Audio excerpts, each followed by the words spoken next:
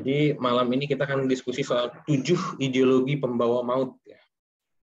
Saya coba melihat apa sih cara berpikir cara berpikir yang menciptakan bahaya, yang menciptakan teror dalam hidup kita sekarang ini. Dan saya melihat ada tujuh. Nah, pertama kita harus tahu dulu apa itu ideologi. Ya. Ideologi dari Karl Marx ya, pemikir Jerman itu dia bilang ideologi adalah kesadaran palsu ya atau uh, falsus bewusstsein, kesadaran palsu itu artinya kita punya pemahaman yang salah tentang kehidupan. Kita punya kacamata yang tidak sesuai dengan kenyataan. Dan kacamata itu kita paksakan ke dunia. Jadi kita ingin dunia itu sejalan dengan kacamata kita. Nah, ciri khas dari ideologi adalah cara berpikirnya eksklusif. Epistemologi itu pengetahuan ya. Cara berpikirnya eksklusif. Jadi kebenaran ada di tanganku dan di tangan kelompokku, dan sering kali tidak ada pendasaran ya, dogmatis sifatnya ya. Jadi aku punya konsep kebenaran dan kebenaran itu sifatnya dogmatis, tidak bisa dipertanggungjawabkan dengan argumentasi, dengan bukti, dengan data empiris, tidak. Pokoknya ini kebenaranku dan kamu harus ikut, kalau tidak kamu saya hancurkan. Saya lindas, jadi korban dari saya dan kelompok saya. Nah, eh, ideologi ini seperti kacamata kuda ya. Jadi hanya melihat satu arah doang, tidak bisa multi perspektif ya. Tidak bisa melihat satu masalah dari berbagai sisi, tidak melihat masalah dari sejarahnya gitu ya. Jadi hanya melihat dari satu eksklusif, tertutup dan dogmatis. Dan ideologi inilah biang keladi konflik di dalam sejarah, biang keladi teror sepanjang sejarah, termasuk di masa kita sekarang ini. Jadi itu ideologi. Jadi banyak pemikir-pemikir yang ngomong soal ideologi. Ada Louis Althusser, ada Karl Marx. Tapi kurang lebih intinya itu. Eh, epistemologi eksklusif ya. Cara berpikir yang tertutup, dogmatik, dan uh, dipaksakan keluar ya. Makanya dia berbahaya. Ya. Dia menciptakan teror. Nah ideologi ini biasanya isme belakangnya. Uh, Yuval Noah Harari bilang ideologi adalah agama-agama modern. Jadi ada agama-agama klasik ya, Eh, Kristen, Hindu, Islam, Buddha, eh, Jainism, macam-macam bentuknya. Dan ada agama-agama modern, agama-agama yang lahir setelah revolusi industri. Setelah revolusi industri, setelah abad pencerahan di Eropa, muncul sebuah agama-agama baru yang cirinya dogmatik, tertutup, dan eh, apa namanya menciptakan berbahaya, berbahaya bagi keberagaman yang paling terkenal tentu saja adalah Marxisme-Leninisme ya. Nah, saya saya pakai Leninisme karena Marxisme pada dirinya sendiri itu sangat ilmiah ya. Itu sebuah teori yang punya basis data sangat kuat. Jadi itu adalah teori ilmiah tentang kapitalisme dan tentang bagaimana kapitalisme akhirnya hancur karena kontradiksi dalam dirinya sendiri. Itu sebuah teori ekonomi sebenarnya. Nah, di tangan Lenin, Vladimir Ilyich Lenin ya, dia eh, menjadi sebuah aksi revolusi dengan kekerasan. Jadi Marxisme dari Karl Marx kita semua tahu dan salah satu teori terpentingnya adalah pertentangan kelas ya. Klassenkampf, pertentangan kelas antara kelas proletar dan kelas burjuasi. Kelas proletar itu kelas pekerja ya. Orang yang menjual kemampuannya untuk mendapatkan upah kelas pekerja. Kalau kelas kelas proletar, ya, kelas burjuasi adalah pemilik modal dia punya perusahaan, dia punya tanah, gitu ya, dan dia hidup tidak menjual uh, kemampuannya, tapi dia memaksimalisasi modalnya. Gitu. Dan salah satu yang dinilai dilihat Marx itu paling berbahaya adalah teori nilai lebih ya. Jadi intinya adalah uh, kelas borjuasi pemilik modal pada akhirnya akan terus merampok para pekerja. Para pekerja bekerja dan dari pekerjaan mereka ada keuntungan, keuntungannya sebesar apa pun akan diambil oleh kelas pemilik modal, gitu, ya, oleh bosnya, gitu, oleh ownernya kalau sekarang kita sebutnya, sehingga ownernya akan semakin kaya, sementara kelas pekerja karyawannya akan segitu-segitu. Perbandingan terlalu jauh. Nilai lebih ini yang diambil oleh uh, kelas borjuasi atau kelas pemilik modal. Nah, makanya eh, salah satu alternatif dari sistem upah semacam itu kan kayak semacam kooperasi atau uh, sistem bagi hasil. Jadi bukan gaji ya tapi keuntungannya seberapapun dibagi rata atau dibagi dengan persentase gitu.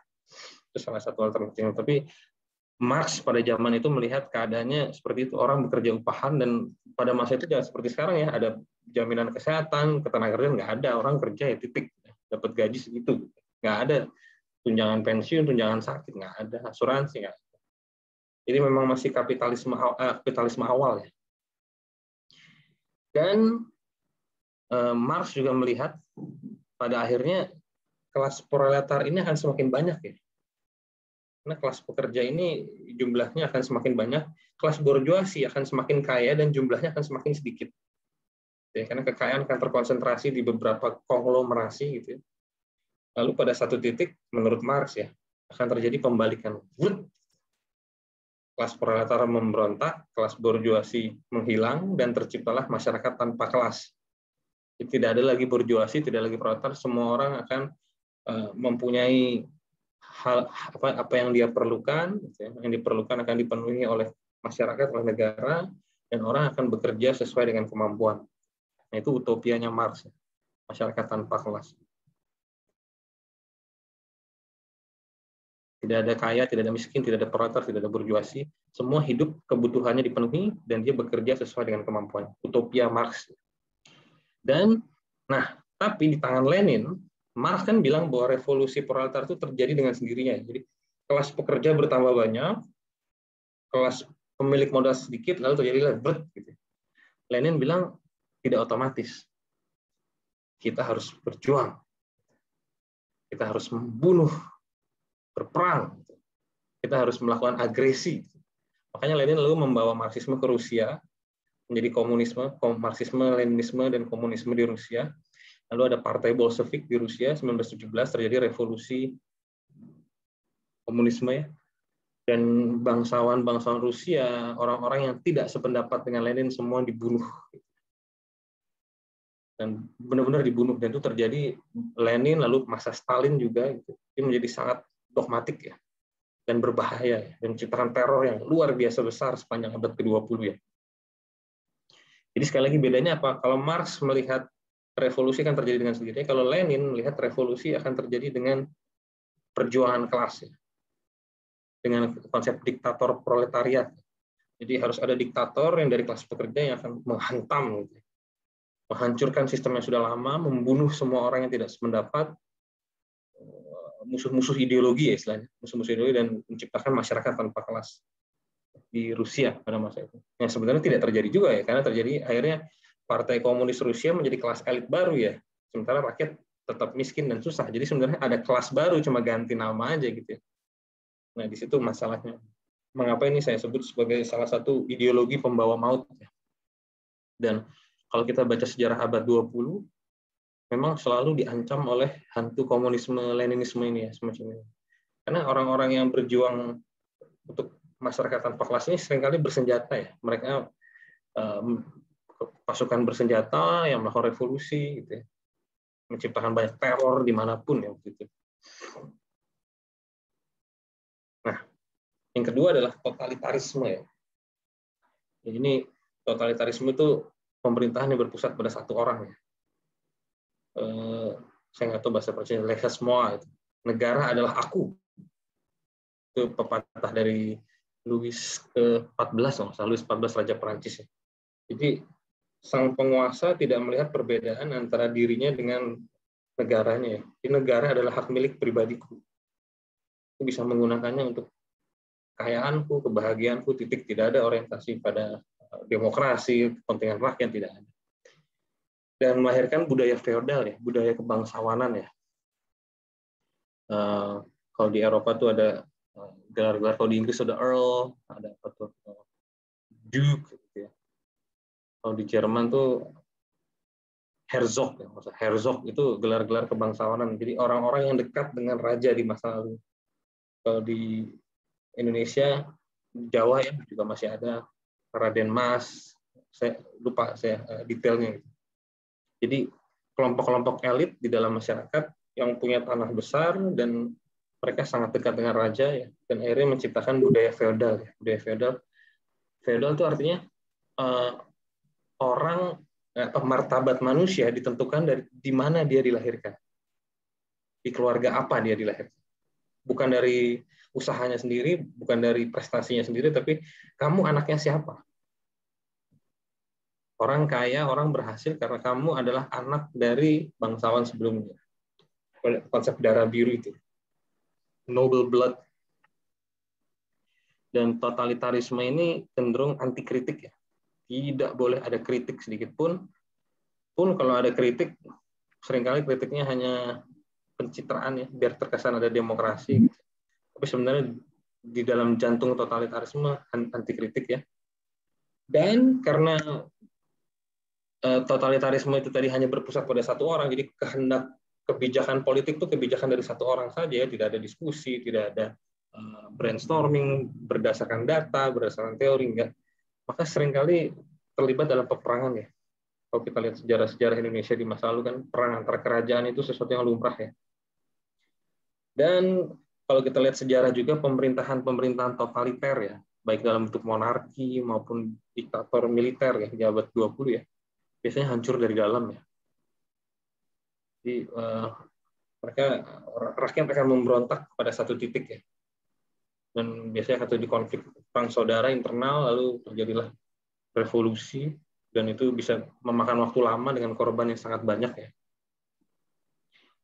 Nah, ini totalitarisme salah satu ideologi maut di abad eh, di abad ke-21 ya.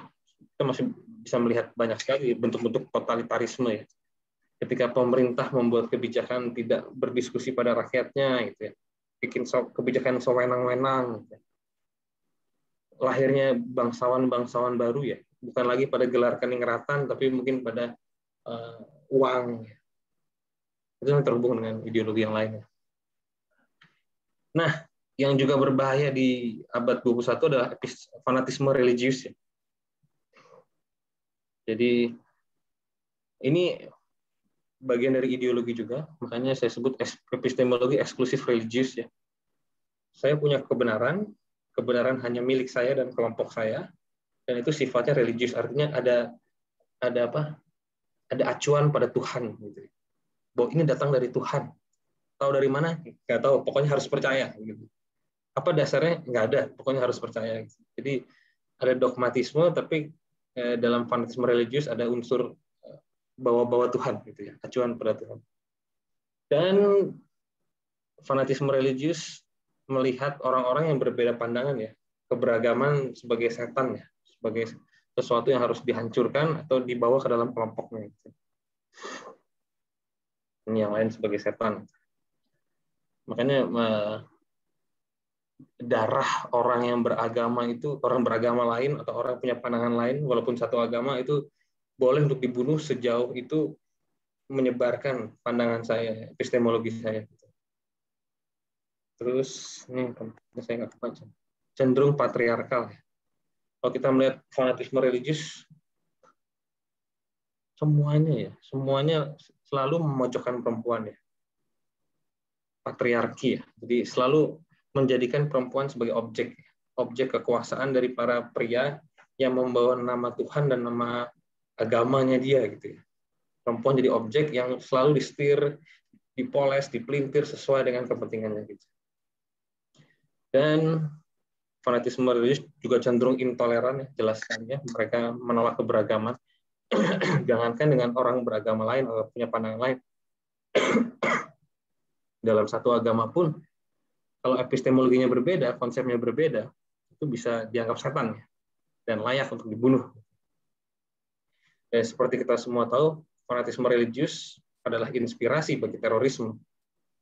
Indonesia sudah kenyang ya dengan pengalaman semacam ini. Bali sudah kenyang, Jakarta sudah kenyang, Surabaya sudah kenyang. Nah, berikutnya adalah kapitalisme turbo ya. Jadi eh, kapitalisme yang versinya ekstrim, dia ngebut, dia overheat gitu ya. Sebenarnya turbo kapitalisme. Nah, kapitalisme turbo juga ideologi, tapi ya, dia melihat profit sebagai Tuhan. Ya, bagaimana mengembangkan modal, mengembangkan kapital terus-menerus, dan uh, profit adalah Tuhan yang sesungguhnya, Tuhan yang disembah gitu ya. Mungkin dia tidak sadar bahwa dia menyembah profit ya, tapi itu yang dilakukan. Dan Eh, kapitalisme memang selalu begitu ya. Kan dari kata kapital ya. Bagaimana modal saya saya punya modal saya punya uang saya punya kemampuan dan bagaimana itu berkembang.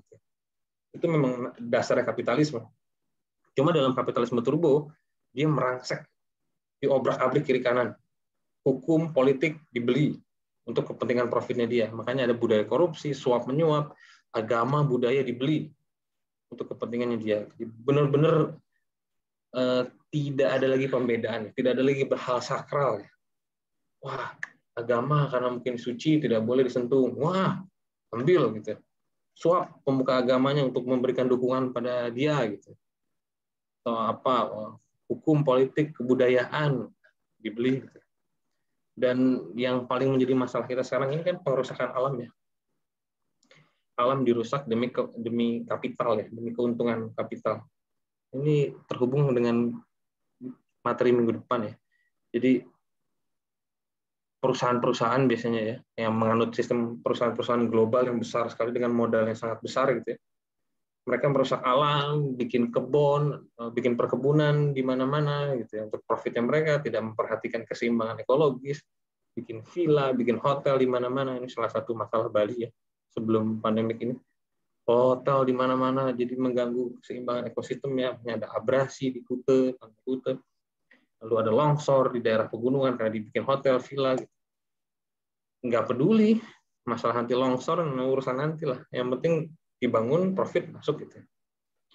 Dan akhirnya cara-cara curang pun menjadi banal. Menjadi banal itu artinya menjadi biasa. Suap, tipu, jegal, intimidasi, teror, itu menjadi biasa. Kalau kita lihat kejahatan HAM terbesar abad 21 adalah banyak konflik perkebunan sebenarnya mungkin teman-teman nanti ada yang bisa cerita bagaimana tanah adat atau orang yang sudah puluhan generasi tinggal di satu tempat tapi karena tidak punya sertifikat akhirnya dihancurkan oleh eh, perusahaan yang membuka kebun misalnya gitu ya.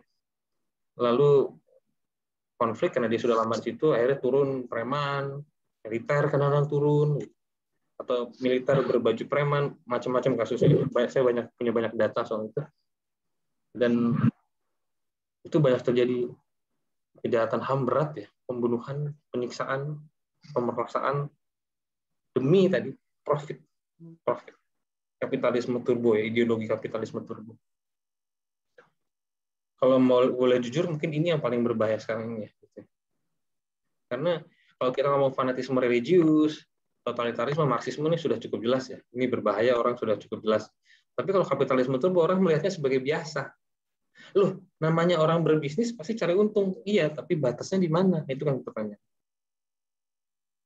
Apakah mencari untung kita boleh membeli hukum, politik, agama, dan budaya? Apakah kita merusak alam? Apakah kita eh, mengintimidasi orang, menipu, tusuk dari belakang, segala macam? Gitu. Apakah itu diperbolehkan? Gitu kan pertanyaan. Jadi orang tidak melihat ini sering kali tidak melihat ini sebagai sesuatu yang uh, jahat, gitu. tapi hal-hal yang biasa ya inilah bisnis. Bisnis itu yang namanya harus nipu. Kalau nggak nipu nggak bisa bisnis. Wah, coba semua orang mikir gitu hancur dunia kita ya gitu. Nah yang sedikit terhubung dengan kapitalisme turbo adalah neoliberalisme ya, ya dulu saya belajar dari Romo Heri Priyono almarhum ya soal ini. Jadi kalau kapitalisme turbo tadi melihat profit sebagai Tuhan, neoliberalisme melihat ekonomi sebagai Tuhan, sebagai yang paling tinggi ya lalu disebut sebagai manusia ekonomi. Manusia itu dipersempit menjadi makhluk ekonomi. Yang otaknya mencari untung menghindari rugi terus menerus seluruh politik menjadi transaksi transaksi ekonomi gitu ya. Dan akhirnya terciptalah ekonomi yang tercabut dari kehidupan. Ekonomi yang tercabut dari budaya dari agama dari nilai-nilai lokal gitu ya. ekonomi yang menjadi terhubung dengan kapitalisme turbo tadi ekonomi yang menjadi sistem yang terasing, terasing dari budaya. Saya pernah ngobrol sama teman saya, dia apa cryptocurrency ya. Wah, katanya lo harus belajar cryptocurrency gitu. Untungnya cepat gitu. Enggak, saya saya bilang saya pun kalau mau bisnis saya ekonomi yang, ter, yang tertanam pada kehidupan lah, bukan bermain-main angka lalu bisa beruntung untung dari sana gitu ya. Wah, itu zaman dulu gitu ya sekarang zaman sekarang nggak gitu. Zaman sekarang di kamar pakai komputer sudah dapat duit gitu. Ya, tapi buat apa duit kalau kita tidak menyumbangkan sesuatu untuk kebaikan bersama gitu perdebatan. Dan ini sering kali penindasannya hegemonik ya. Penindasan hegemonik itu artinya begini. Eh, penindasan terjadi tapi orang tidak merasa ditindas. Bahkan mereka merasa itu hal yang baik, hal yang lumrah gitu. Itu kekuatan hegemoni ya dari konsepnya Antonio Gramsci itu. Jadi neoliberalisme itu Eh, dampak paling parahnya adalah semuanya diukur dari ekonomi. Pendidikan, sejauh mana eh, nilai ekonominya. Makanya pelajaran-pelajaran seperti sastra Jawa kuno, sastra Rusia, sastra Bali, gitu ya, filsafat itu dianggap jurusan-jurusan yang tidak punya nilai ekonomi maka disingkirkan pelan-pelan gitu. Yang laku adalah yang akuntansi, yang gitu-gitu, yang berbau ekonomi. Jadi eh, kehidupan tuh ujung otaknya adalah duit melulu gitu ya, ekonomi melulu gitu. Tapi orang lalu berpikir ya begitulah dunia. No, nggak begitu dunia itu eh, pandangan semacam itu dibentuk ya oleh sebuah cara berpikir dan proses-proses ekonomi politik selama 30-40 tahun belakangan ya. Dunia tidak selalu seperti ini. Ada masanya di mana integritas, keutamaan, moral itu dianggap jauh lebih tinggi daripada ekonomi. Sekarang tidak. Karena ukuran seseorang adalah pendapatannya atau punya harta berapa gitu. Uh, Marcuse kalau nggak salah, Herbert Marcuse, pemikir Jerman tuh yang bilang uh, being as having gitu. Jadi uh, diri saya, harga diri saya dilihat dari apa yang saya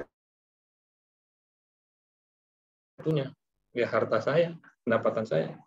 Nah ini neoliberalisme. Ini menjadi sangat merusak. Kenapa? Karena ya dia menyempitkan hidup manusia ke dalam unsur ekonomi belaka. Hidup manusia menjadi sempit dan dangkal dan tidak bermakna. Orang punya bisa punya banyak uang, tapi dia bisa begitu menderita ya dalam dirinya ya. Karena ya itu sempit hidupnya. Dan berikutnya adalah fatalisme, apatisme, dan hedonisme ya. Saya coba menghubungkan tiga ini karena saya melihat kaitan erat ya ideologi-ideologinya. Jadi fatalisme itu artinya fatalis ya. Ya sudahlah. Eh, kita tidak usah berusaha, kita tidak usah belajar aneh-aneh, hidup dijalanin aja, nanti juga mati semua. Gitu. Fatalis, santai aja, nggak usah ngoyo. Kelihatannya bijaksana, tapi sebenarnya ada ada bahaya di situ. Ya, pemerintah ya, korupsi ya sudahlah biarkan saja. Ya apalagi eh, ppkm membunuh rakyat ya sudahlah gitu. santai saja gitu. itu gaya-gaya fatalis. Dan itu dekat dengan apatisme. Kalau apatisme jelas tidak peduli. Saya tidak peduli. Tidak ada urusan dengan saya tidak ada urusan dengan saya. Saya punya hidup saya cari uang titik yang lainnya saya tidak peduli apatia ya. ketiadaan uh, empati ya. Tidak ada perasaan pada itu gitu ya. jadi sangat cuek. Nah ini dua ideologi ini fatalisme dan apatisme ini terjadi karena ya ini zaman ini ya. Kita banjir informasi ya. Informasi itu sudah gila-gilaan ya masuk ya. Lewat handphone lewat TV terus menerus 24 jam informasi dalam segala bentuknya ya baik yang informasi bermutu maupun yang hoax ya, maupun yang over over information ya, informasi superfluid ya, eh, banjir informasi. Dan sering kali kita lalu merasa tak berdaya ya. Wah, ada COVID nggak kelar-kelar, ada varian baru, vaksinasi nggak kelar-kelar, PPKM nggak kelar-kelar, orang makin miskin, udah sakit miskin gitu. Lah pejabat enak, dapat tunjangan tiap bulan. Yang gajinya per hari gimana? Hidupnya dari harian pedagang-pedagang itu karena banjir informasi lalu dia merasa tidak berdaya. Karena saya merasa tidak mampu berbuat apa pun dalam keadaan seperti ini. Saya hanyalah uh, pedagang bakso saya hanya pedagang baju saya hanya penulis biasa. Saya tidak punya pengaruh apa pun untuk merubah kebijakan. Lalu merasa tak berdaya. Merasa tak berdaya terus yang ini juga soal kuantitas membunuh kualitas ya. Pemberitaan itu menjadi begitu gencar sehingga mutu pemberitaan itu menjadi sangat menurun ya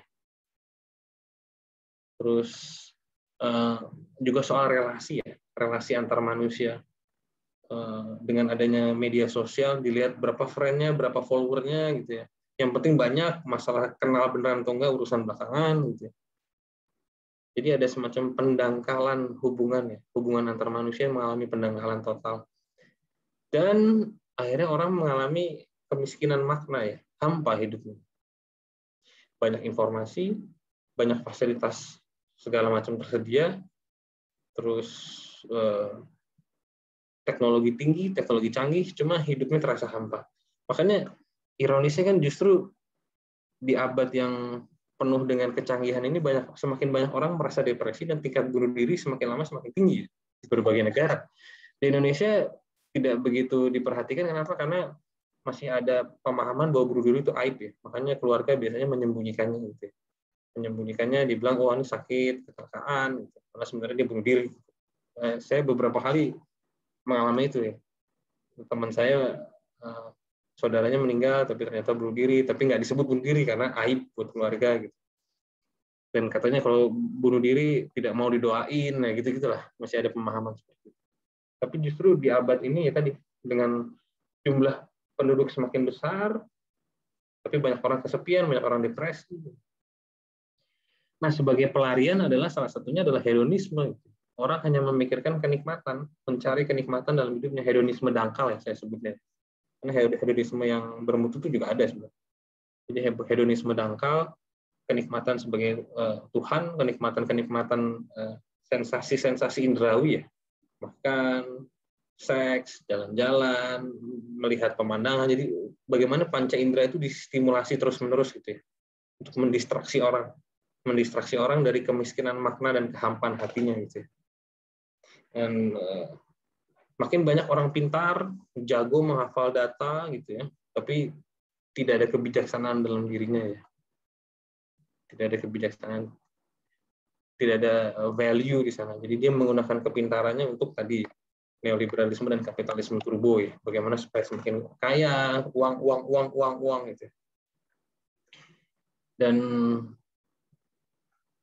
ya ini hoax dan perilaku dangkal dan salah satu dampaknya adalah menyebarnya hoax begitu cepat ya karena di dalam iklim fatalisme, apatisme, dan hedonisme, pemikiran kritis, pemikiran rasional itu menjadi sangat tumpul ya, tidak berkembang ya. Karena orang hanya mencari kenikmatan, tidak peduli, biarkan saja gitu ya.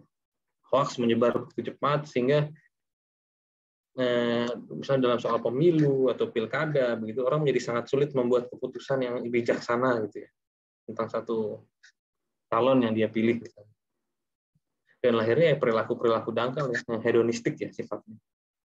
Eh, menghabiskan uang eh, posting-posting di sosial media foto-foto yang sebenarnya nggak ada poinnya dia hanya ingin memamerkan sesuatu saja begitu ya. Perilaku-perilaku dangkal yang membuat orang iri ya macam-macam motivasinya mungkin untuk di endorse juga untuk ekonomi juga. Jadi ya inilah fatalisme apatisme dan hedonisme saya pikir ini juga eh, bahaya ya buat dunia sekarang ini ya kalau orang terjebak pada fatalisme, apatisme, dan hedonisme, pemikiran kritis akan sulit berkembang. Pemikiran rasional akan sulit berkembang dan demokrasi akan hancur. Tidak karena diserang dari luar, tapi hancur dari dalam. Gitu. Mungkin baru juga ya sebuah eh, ada pandangan bahwa seluruh peradaban akan jatuh karena kontradiksi dari dalam. Kontradiksi dari dalam peradaban itu sendiri. Yang saya ingat uh, Majapahit ya, Majapahit, Kekaisaran Romawi itu hancur bukan karena diserang dari luar, jadi hancur karena dia sudah sudah bobrok dari dalam ya, perang saudara, perebutan kekuasaan, tadi ada hedonisme juga, ada kerakusan juga, dan pertanda-pertandanya sudah muncul sekarang ini ya di berbagai negara ya, bahkan demokrasi-demokrasi yang paling kuat pun yang modern pun juga dari dalam itu sudah keropos. Yang berkembangnya kelompok-kelompok konservatif. Semakin sulitnya orang berpikir dengan nalar sehat ya. Orang hanya berpikir mengikuti tradisi mengikuti agama tanpa menggunakan hati nurani dan nalar sehatnya itu. Semakin langka semakin langka orang yang bisa berpikir dengan akal sehat. Dan ini mungkin yang ketujuh ya terakhir ini rasisme ya yang masih selalu menjadi masalah ya. Sampai sekarang di rasisme ya orang membuat diskriminasi berdasarkan ras. Berdasarkan ras lalu terjadi ketimpangan sosial, ada ketidakadilan terhadap ras tertentu. Gitu. Ya. Nah, menurut uh, bukunya Yuval Harari yang saya baca ya, rasisme dan patriarki ya, jadi eh, laki-laki yang men menindas mental penindasan terhadap perempuan itu berkembang dengan lahirnya masyarakat agraris ya, masyarakat yang menetap di satu tempat bertani lalu dia mengolah tanah di situ. Karena di, di masyarakat yang nomaden berpindah-pindah itu kelompoknya sifatnya lentur ya, kadang-kadang mereka berpisah, bergabung dengan kelompok lain gitu. Jadi peleburan antar ras itu sesuatu yang biasa. Tapi ketika dia menetap di satu tempat, tak, muncullah identitas kelompok, muncullah komunitas, muncullah budaya, muncullah negara, lalu ada semacam ketertutupan. Ada ideologi tertutup tadi, ya, tertutupan. Dan dari masyarakat agresif ini lahirlah perbudakan. Perbudakan itu salah satu buah dari rasisme sekelompok ras dianggap lebih rendah, maka dia berhak untuk dieksploitasi. Ditangkap, diculik, lalu diperkerjakan secara paksa di tempat lain. Gitu ya. Indonesia sempat banyak mengalami itu ketika kolonialisme Belanda. Ya. Kolonialisme juga faktanya. Gitu. Eh, selama Eropa melakukan kolonialisme pada dunia ya, itu ras-ras lain itu di Afrika, di Asia dianggap ras kelas rendah yang boleh untuk diperbudak diberadabkan mereka menyebutnya. Gitu. Lalu kalau kita lihat di Afrika Selatan ada apartheid, gitu ya. Jadi kebijakan pemisahan kelas kulit putih dan kulit hitam, gitu ya. Tidak boleh satu bus, tidak boleh satu kolam renang, tidak boleh satu kamar mandi, gitu ya. Apartheid.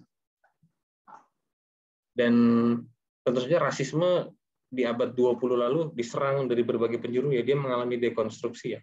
Dan sekarang rasisme menjadi rasisme yang lebih halus sifatnya. Eh, tidak lagi secara agresif memisahkan eh, membuat ketidakadilan ya, tapi cukup mengabaikan mengabaikan kelompok-kelompok minoritas. Mereka tidak diserang, tidak diserang, tidak diusir, tidak didiskriminasi, cuma dianggap tidak ada. Tidak diperhitungkan di dalam membuat kebijakan-kebijakan demokratis ya. Saya ingat waktu di Jerman itu eh, kalau kamu Auslander, Auslander itu orang asing ya orang asing, mereka tidak akan menyerang kamu gitu karena itu urusannya sama polisi gitu. Tapi mereka akan menyingkirkan kamu, menganggap kamu tidak ada. Teman-teman saya dan beberapa teman juga beberapa kali mengalami hal yang sama. Ya. Rasis saya nyebutnya rasisme halus. Ya. ya di Jerman tuh kan ada komunitas Turki ya, Muslim Turki yang memang sudah lama di sana gitu. Ya nggak diapa-apain, nggak di nggak didiskriminasi, nggak diserang, nggak diapa cuma dianggap tidak ada. Gitu oleh tidak diperhitungkan dalam pembuatan kebijakan di sana. Nah, ini rasisme halus. Nah, bagaimana kita apa eh, apa yang bisa kita lakukan menghadapi ideologi-ideologi ini ya, ideologi-ideologi pembawa maut ya, marxisme-leninisme, totalitarisme, fanatisme religius, kapitalisme turbo, neoliberalisme, fatalisme, apatisme, hedonisme dan rasisme ya. Ya, isme-isme yang menjadi uh, dalam tanda kutip agama-agama modern ya menurut Harari ya. Dia sebenarnya menyinggung liberalisme ya tapi saya nggak akan masuk karena saya tidak melihat bagaimana liberalisme membawa maut membawa kehancuran. Nah uh, yang saya tawarkan sebenarnya itu membenahi sistem pendidikan total. Karena ideologi itu kan tertutup ya eksklusif tertutup dan dogmatis. Dan sering kali dia agresif ya, keras gitu ya. Nah, melakukan kekerasan pada kelompok lain gitu ya. kita harus membenahi sistem pendidikan sampai ke akar ya. Membangun sistem eh, pendidikan berpikir kritis yang tidak hanya fokus pada formalisme agama tapi pada spiritualitas dan cara berpikir ilmiah cara berpikir berbasiskan pada data empiris dan teori-teori yang memang bisa didiskusikan dengan akal sehat. Selama ini pendidikan Indonesia jauh dari itu ya. Ini cuma menghafal, menghafal, menghafal, menghafal, menghafal, lalu dimentahkan kembali dan itu disebut pintar gitu ya. Itu menurut saya malah bodoh ya. Hanya bisa menghafal itu komputer malah lebih jago gitu. Tapi itu yang dianggap apa ya murid cerdas ya pada umumnya ya. Terus eh, membenahi hidup beragama ya, memperkecil radikalisme tadi fanatisme religius ini. Ini juga eh, sebenarnya akarnya kembali ke yang tadi ya. Bagaimana memang sistem pendidikan bahkan ketika kita belajar agama pun kita belajar menggunakan cara berpikir kritis akal sehat, ilmiah gitu ya, dan masuk ke dalam ranah spiritualitas ya. Dan berikutnya eh, kenapa ideologi-ideologi ini begitu berbahaya ya sekarang ini? Dia merangsek begitu besar ya. Kenapa? Karena dunia ini kan sumber daya terbatas. Ya. Kita hanya punya satu bumi ya. Bumi itu terbatas. Dan kalau jumlah penduduk jumlah penduduk kita manusia itu ya sekarang hampir menyentuh 8 miliar ya kalau nggak salah ya. Itu terus berkembang ya. Tanpa ada kontrol, tanpa ada eh, kesadaran untuk mengelola itu semua, ya sumber daya tidak akan cukup. Dan akhirnya kan terjadi perebutan sumber daya, konflik sumber daya, belum lagi tadi ada kapitalisme turbo, ada totalitarianisme, gitu. yang akan menciptakan banyak masalah, perang di mana pun gitu ya. Juga ada kerusakan alam, gitu. Dan ya sumber daya bumi tidak akan mampu menampung kehidupan manusia yang jumlahnya sangat besar tadi. Jadi belajar untuk berkeluarga dengan sadar ya. Kalau memang ingin berkeluarga, apakah itu hanya ingin mengikuti tradisi itu ya, karena disuruh orang tua, disuruh agama, atau memang saya dengan sadar saya sudah memperhitungkan gitu. Saya punya uang segini, saya punya rencana begini, suami saya begini, istri saya begini, supaya nanti keluarganya itu bagus itu nggak cuma bikin anak banyak, tapi nanti keleleran, Eh, naik motor berlima sama temennya di Jakarta itu saya beberapa kali menegur ya. Anak-anak kecil yang orang tuanya nggak tahu ke mana gitu mereka keleran gitu. kalau udah gede mau jadi apa mau jadi preman gimana nanti? Kalau anaknya ada apa-apa sakit lalu meninggal misalkan cobaan Tuhan itu bukan cobaan Tuhan ini tidak siap berkeluarga. Itu yang kita kita ngomong secara global ya. jadi bagaimana ada semacam keseimbangan ya antara bumi dengan manusia di dalamnya ya. Supaya uh, spesies-spesies yang lain ya, hewan dan tumbuhan itu tidak dieksploitasi terus-menerus ya oleh manusia ini. Oleh ideologi-ideologi kerakusan semacam itu ya. Dan berikutnya tentu saja kita terus berusaha membenahi politik ya. Membangun pemerintahan yang bersih, adil, efisien, dan efektif ya. Ini proses berkelanjutan ya. Kalau memang kita punya jabatan politik dan kita punya otoritas tertentu ya kita berusaha bekerja dengan baik. Tapi kalau kita berada di luar politik struktural semacam itu, kita berpolitik juga. Misalnya dengan uh, melakukan pendidikan publik, kita mohon kontrol sosial terus-menerus, kita menulis, kita berkarya gitu untuk membantu masyarakat tuh memantau kerja para politisi. Terus yang terakhir adalah membenahi ekonomi ya. Membangun eko ekososial market ekonomi ya. Ini konsep dari Jerman yang saya juga pernah nulis soalnya. Jadi ekonomi pasar tetap ada kompetisi ya. Tetap ada persaingan antara antara berbagai perusahaan dan elemen-elemen pelaku usaha. Tapi negara menyediakan safety net ya. Kalau misalnya ada yang bangkrut, ada yang gagal, negara bisa ikut langsung mendampingi gitu ya. Bukan langsung miskin, bangkrut gitu ya, enggak. Tapi ada negara yang bisa masuk gitu. Itu yang disebut social market economy. Dan sekarang ditambahin eco social market economy. Jadi social market economy dengan wawasan lingkungan ya. Membangun sistem ekonomi di mana orang dituntut untuk kreatif, inovatif dalam berbisnis, dalam berusaha, tapi ada safety net gitu ya dan tetap punya kesadaran lingkungan ya, menggunakan bahan baku yang ramah lingkungan, tidak menggunakan banyak plastik, gitu, ya. tidak eh, pun kalau misalnya otomotif sudah ada standarnya untuk polusi, gitu. Saya ingat di Jerman, saya dulu punya teman dia guru bahasa Jerman, orang Jerman ya. Terus dia itu uh, ada pengurangan guru dan dia dipecat, diberhentikan gitu, dengan pesangon dan negara akhirnya membantu dia gitu karena ada Arbeitslosversicherung asuransi asuransi pengangguran asuransi putus kerja. Asuransi putus kerja lalu dia akhirnya dapat uang tiap bulan dari negara supaya dia nggak bisa bisa masih bisa bayar sewa apartemen bisa bayar listrik bisa beli makan. Dan dia di, di, di apa ya didampingi sama pemerintah untuk mencari pekerjaan yang baru. Jadi nggak dikasih duit dilepas ya. Dikasih duit tapi didampingi oh kamu mau kerja di mana kita akan bantuin gitu kamu mau, butuh skill apa kita akan bantuin gitu. jadi dibantu koneksinya dan itu langsung dipantau ya, nggak nggak banyak kata banyak birokrasi gitu. gitu. Nah itu eco social market ekonomi dan itu, itu social market ekonomi dan eco nanti ya punya wawasan ekonomi. Ya kira-kira itu saja dari saya presentasinya tentang ideologi-ideologi pembawa maut dan apa yang kita bisa lakukan ya untuk menanggapinya. Terima kasih.